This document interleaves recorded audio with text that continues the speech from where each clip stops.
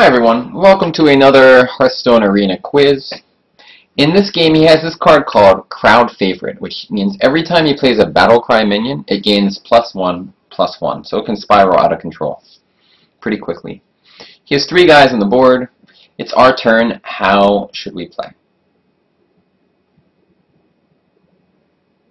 Alright, so I mean I think this is a pretty clear choice. Like but it's important to just understand a general concept. And that concept is when you're behind, you have to take some risks.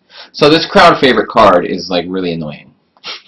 We definitely need to deal with it. And we can guarantee removing it by playing Druid of the Saber, rushing into it, hero powering, and killing it. Guaranteed, it's dead. We lost it. It's gone, but he has two minions on the board, we have zero and it's still his turn, which gives him a very comfortable and strong lead. So in a spot like this, when you're going to be way behind by playing the safe play, you just have to play a slightly risky play, which means uh, I played the Mad Bomber. I hope to hit it once. If I do hit it once, then I uh, I use my Druid of the Saber, rushed into it. Now I feel like I gotta get rid of it because it can keep growing and growing and growing. So that's what I did. And I did get lucky. I did hit it. Watch, watch the amazing luck.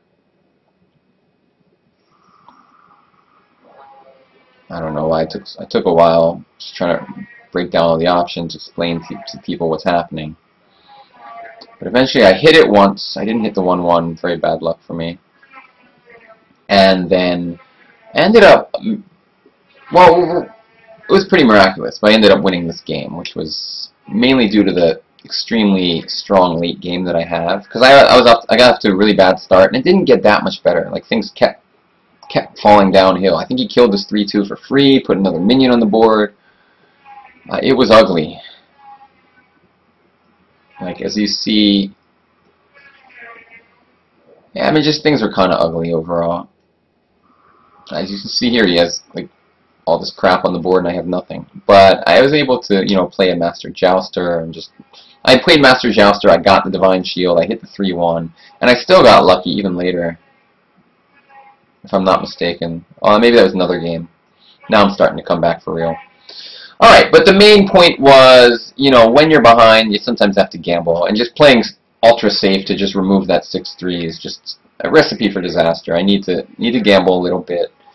And I did get lucky, and I did end up winning the game. So, yay. Uh, thanks for watching. See you next time. Bye-bye.